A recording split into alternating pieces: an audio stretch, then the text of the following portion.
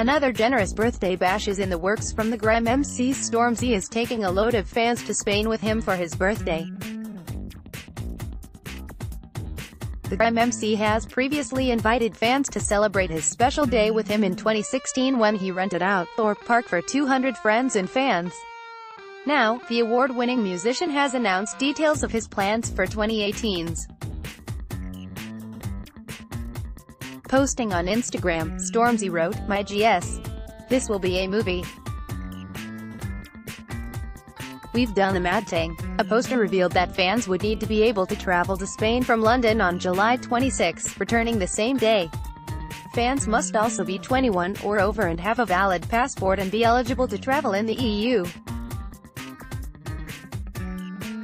To enter for the chance to attend, fans should send their name and Instagram and Twitter handles to rsvp at stormzy.com.